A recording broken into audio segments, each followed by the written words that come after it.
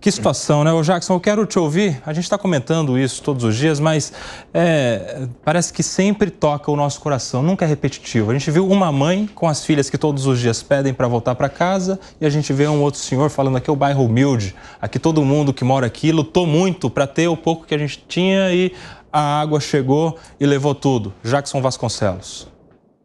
Não tem como não se emocionar ou não sentir diante da, dos depoimentos dessas pessoas, principalmente desse senhor que ele diante de toda tragédia, diante de toda dificuldade, ele coloca um voto de esperança, uma voz de esperança, uma voz de que ele tem certeza que vai reconstruir. Mas o que me chama muito a atenção nessa tragédia, como em outras que a gente já viveu, é será que algum dia a gente vai saber se alguém poderia ter evitado essa tragédia e se não evitou, que tipo de punição teria.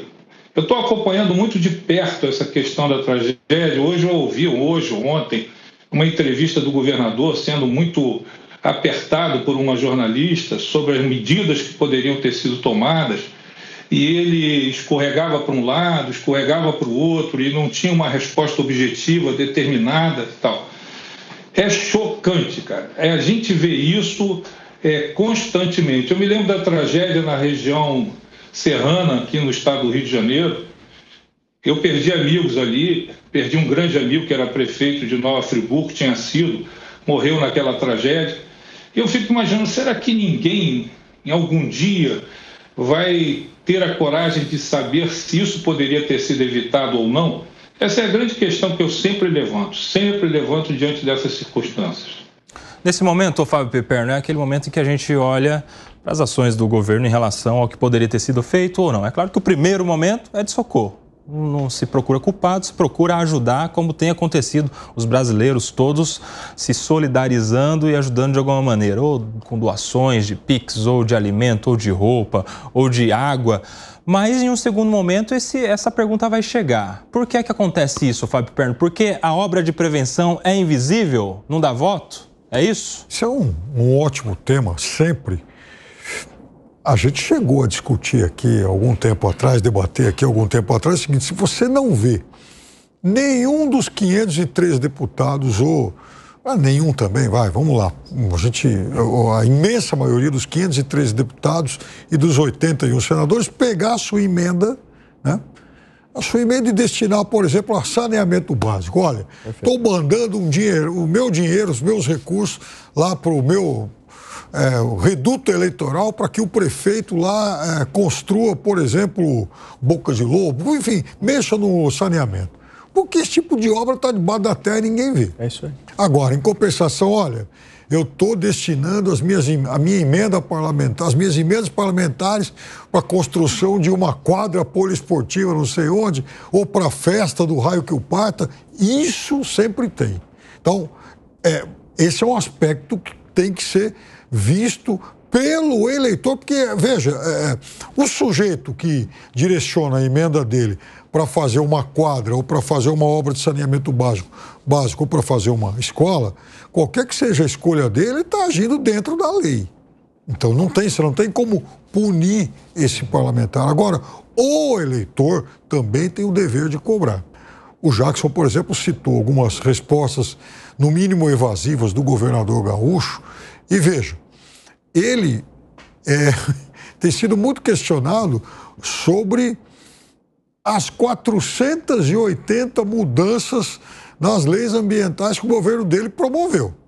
Então, veja, ele não fez nada fora da lei. Mas por que, que ele fez isso?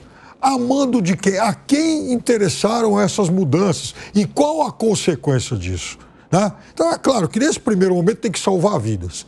Tem que pegar toda a estrutura do governo federal, estadual e dos municípios e mandá-la para onde tem enfim, alagamento para salvar pessoas, para salvar animais e depois instalá-las em algum lugar.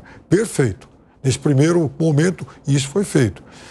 Mas agora vamos sim, é, sabe, avaliar com lupa isso. O que é que não foi feito e o que foi feito errado. Porque toda hora começam a pipocar reportagens, depoimentos de gente que falou: olha, lá atrás foi aprovado tal recurso para tal obra e a obra não foi feita, ou a opção foi errada. E por que isso?